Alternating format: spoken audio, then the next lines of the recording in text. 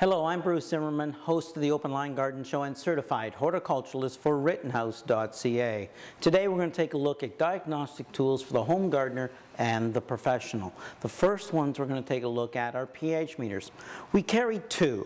The consumer model, which has a pH range of 3 to 8, and the professional model, which has a range of 3.5 to 8. Now, just a quick review. 7 is neutral soil.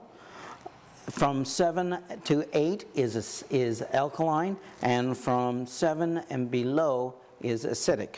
Now, both have the same technologies inside, and both are susceptible, like all delicate instruments, being dropped or rough handled. So please don't do that. If you drop them, they're gone, they're useless. I will say this, that the professional unit in most cases can be recalibrated. The consumer unit cannot. It has to be replaced. The other difference here is the fact that it has a button. This little magic button changes the professional unit from a pH meter to a moisture meter. It has a scale of, of course, 0 to 100, okay? And you have to interpret, like all moisture meters, the relative reading. Okay. The professional also comes in a leatherette pouch and each comes with a couple of cleaning film. I would also recommend that if you buy one of these, you get an extra package of the cleaner films. Now, what you do is you never touch the metal probes on either unit, okay? If they get dirt on them because you've got them in the ground, etc., when you clean them, simply take a clean, dry rag and get rid of the excess. Now, that's all you're getting rid of is the excess. They don't have batteries, but they do work on the conductivity in the soil. As a result, they pick up a molecular barrier on the metal sheets of each of these probes. So therefore, it is very important that you clean them. You take the dull side of the sheet and you simply rub and clean. This should be done after each and every use or extended use to keep their accuracy up. Now when you put them in the ground, you have to make sure that the metal probes are covered completely. You let them sit there, and once they've sat there for a short period of time, sometimes anywhere from a minute to three minutes, the needle will have settled. That is your accurate reading. It's very important you leave them there for that. Now, should you have to uh, do a soil test of pH below the depth that you have here. You'll take a trowel, you'll simply dig the hole and put the pH meter in the bottom of the hole in the undisturbed soil. It's very important that it's undisturbed soil. And that will give you the reading of that level of the soil as well. So it's important that you realize that that's what you have to do in order to get an accurate pH of the soil in that area. Now, we mentioned moisture. There is another moisture meter, and this one is, of course, a longer probe. It measures everything down at this tip. So it goes in and it measures the moisture at the level of the tip. So you can push it in, down, deeper, deeper, deeper, deeper, go from pot to pot to pot. Like all these instruments, they should not be left in the soil or in the pot for any extended period of time. It will help to corrode the actual tips and that would make them extremely inaccurate. Now, with this pH meter, I'm sorry, with this moisture meter, uh, you have a battery, which you have to replace every once in a while. You'll notice that when it doesn't move, it's time to replace the dead battery. But this moisture meter has to be set. So you take your perfect soil, by that a pot of soil with the accurate amount of moisture that you want, or the garden soil that's got the perfect amount of moisture in it. You turn around and take out this little black plug, okay? You take a standard slot screwdriver and inside there's a little screw.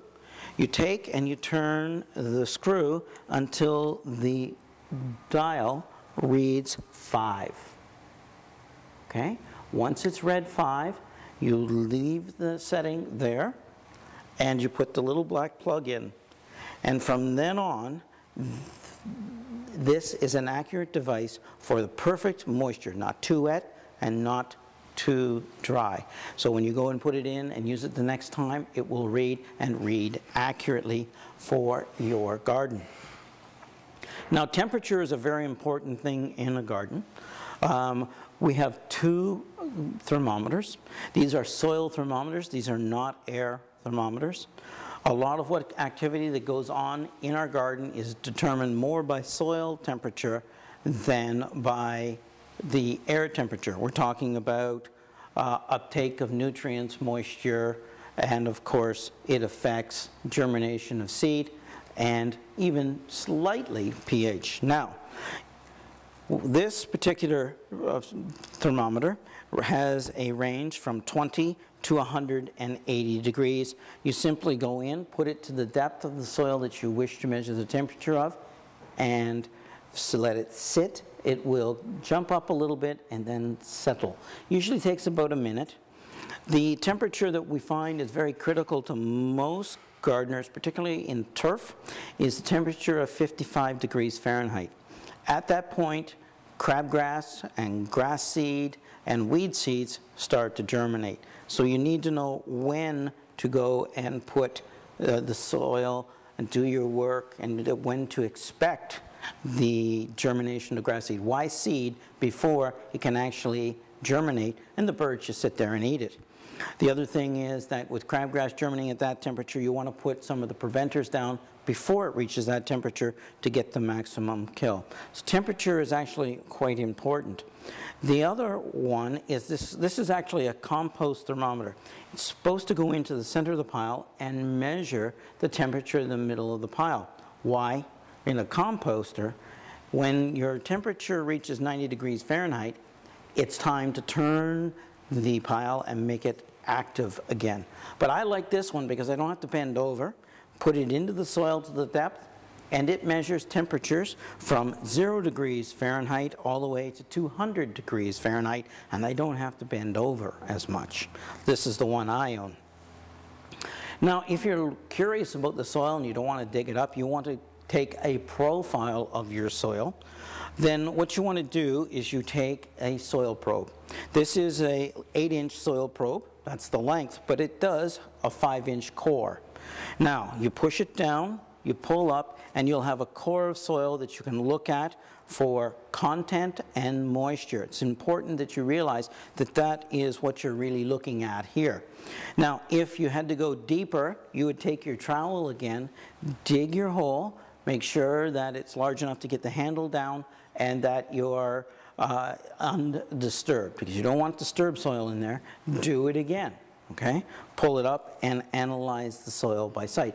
You can do core samples like this and send them off to the lab or use that core to actually use your own home test soil kit as well.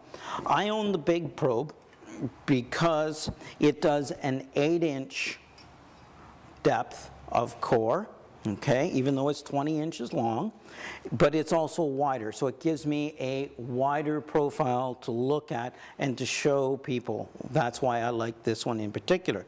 Same thing happens. If I want to go deeper than the 8 inches, then I take my trowel, okay, and I dig down. Or what I have done, and this only works if your soil is decent, you go in, you pull out, take your first core, take a look at it, take it out, Go down the same hole again, and usually about eight inches, right?